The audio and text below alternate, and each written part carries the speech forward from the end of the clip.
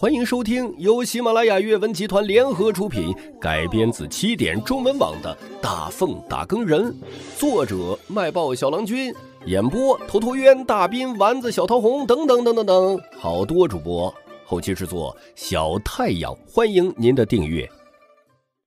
第五百五十七集，神威灵灵许银罗。哦，你好骚啊！许七安握紧了黑金长刀，并不因为对方的不屑和揶揄恼怒，另一只手悄然的引燃了一页纸张。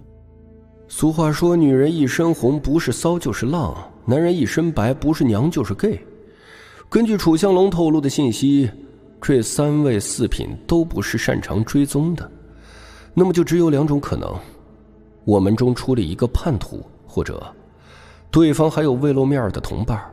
哎，附近没有其他强者的气息了，不对呀。许七安心里一动，我猜你们中有术士帮忙。红裙女人豁然变色，目光倏的锐利，重新的审视他。你怎么知道？汤山君和扎尔木哈微微侧目看了许七安一眼，似乎是有些意外。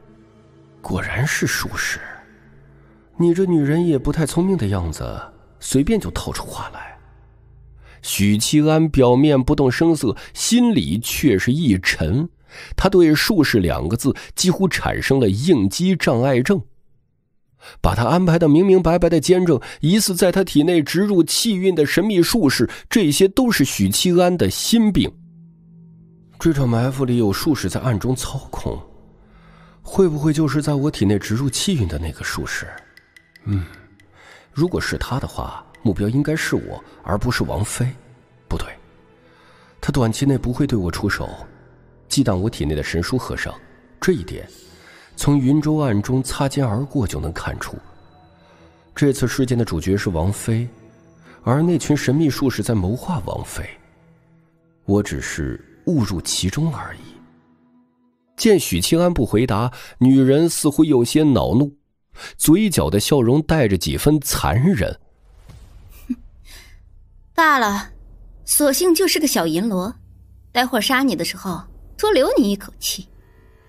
说完，他不去看许七安，也不看使团众人的脸色，望向汤山君和扎尔木哈，嫣然笑道：“杨艳交给你们，其余人和楚相龙交给我。”扎尔木哈哼了一声。哼，杨艳，我一个人就能搞定。唐山君昂起头颅，朝着天空发出震耳欲聋的嘶吼。众人前方的地面忽然坍塌崩裂，浑浊的地底暗流破土而出，浊流旋转着冲上天空，形成一道巨大的水龙卷。水龙卷斜裹着沙土和石块，撞向了使团众人。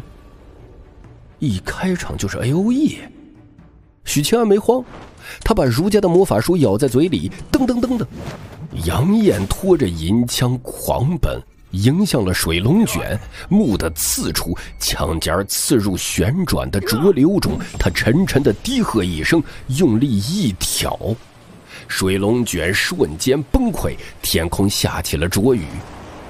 杨艳破出水龙卷的刹那，唐山君扭动着身躯，长达百丈的庞大娇躯发起了冲锋。战场上，这样的冲锋可以轻易的覆灭一支千人骑兵。另一边，山林间轰然一震，一丈高的巨人纵身跃下，扑向了杨艳。娇笑声里。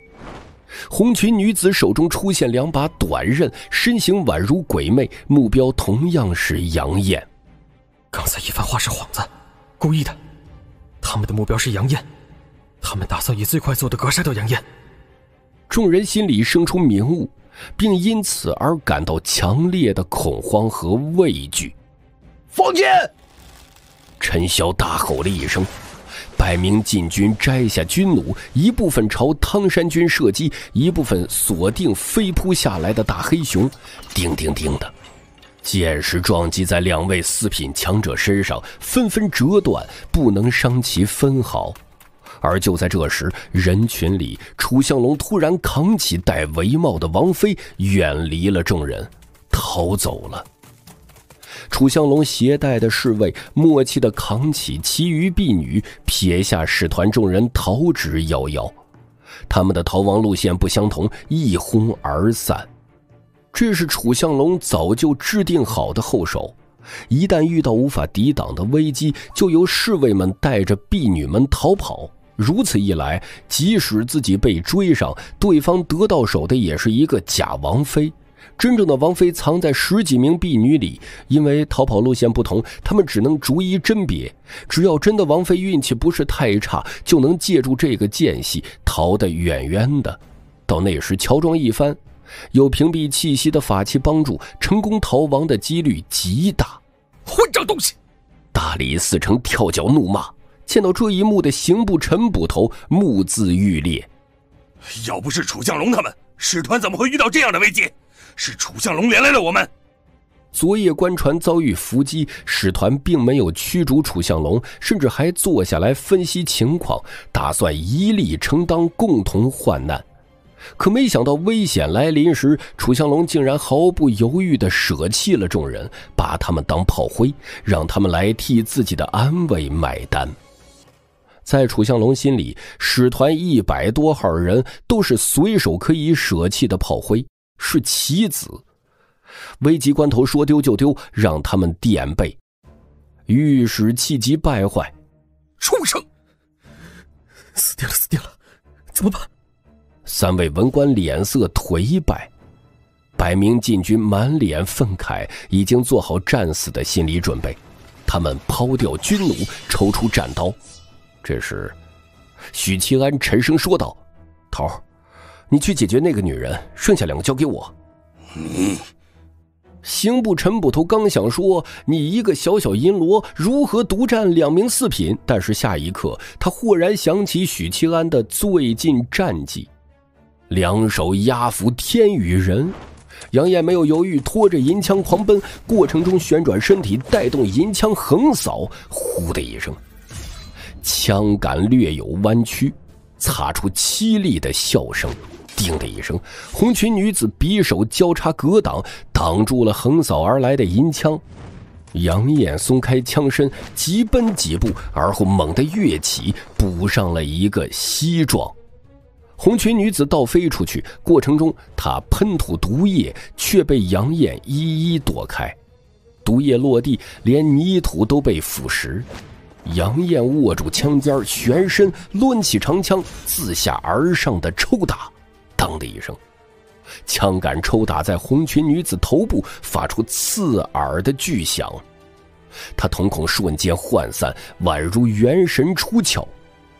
抓住机会，杨艳一连刺出数百枪，裹挟枪意的攻击如同暴雨。红裙女子体表覆盖鳞片，枪尖溅起了一串串的刺目火星。